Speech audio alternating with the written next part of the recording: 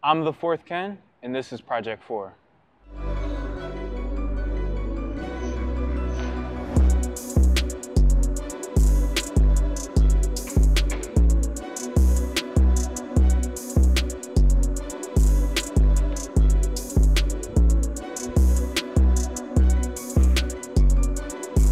I'm a barber, educator, entrepreneur, and content creator, and I'm from Philly.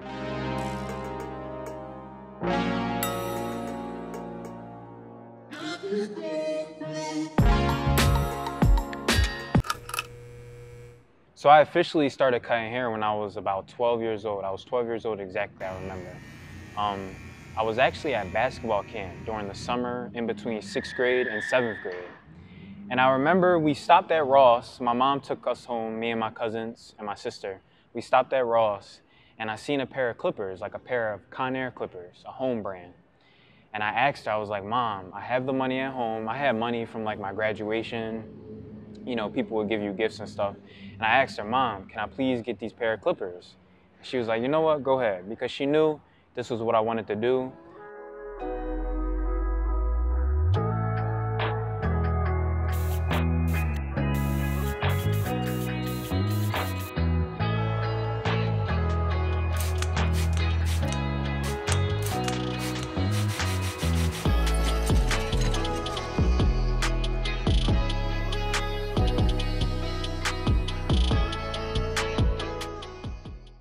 I'd say I officially came into the barber industry when I was around 14 years old.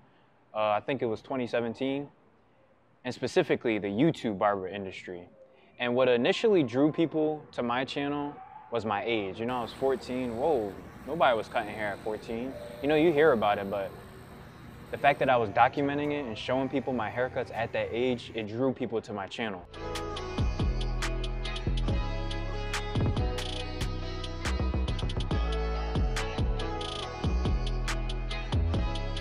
A lot of people always ask me, oh, Ken, you know, who's on your team? Who, who helps you out with things? And I always tell them my parents, my mom and dad. Shout out mom and pops. Um, so usually my dad, he usually helps me with content creation ideas, uh, you know, brainstorming different ideas that can, you know, reignite my channel, bring more traction, bring newer viewers. Um, and he also helps with the social media aspect. He reviews, you know, some things that I post. Oh, if that ain't right, take that down and I listen to him because, you know, he's older, he knows more than me. I'm a kid, I still think like a kid. I'm only 18 years old. So my parents advise me about certain things and the path to take, you know, you should listen to them because, you know, typically they know best. Um, other things that my dad does is he, he assists my mom with the financial and business aspect. Um, that's really my mom's, you know, expertise. She handles the business paperwork, uh, but she also teaches me in the process.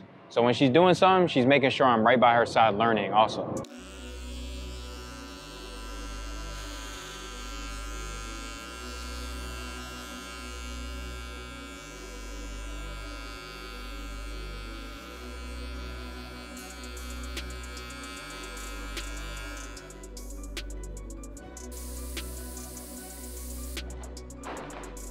Overall though, I really, really love cutting hair. I love everything about it. But all my barbers know this. You know, you get that one haircut, have you questioning your whole career. It's so difficult. It's a struggle. But once you get it done, it's like, wow, I really did that and I did it good. You know, I love everything about the craft. And even outside of the craft, I love hair textures in general. You know, when people ask me, who am I? I usually say, you know, barber, entrepreneur, YouTuber. But I also say I'm a hair enthusiast because I really love hair in general.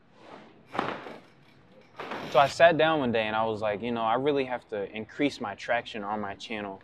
I have to create my own lane because the age, that isn't gonna draw people to my channel anymore. There's plenty of 18 year old barbers. So I really sat down and was like, what's something that I'm bringing to the table that, you know, most people aren't, specifically barbers in the industry. And I was like, shape ups. You know, a lot of people focus on fades, tapers, and that's okay. There's nothing wrong with that.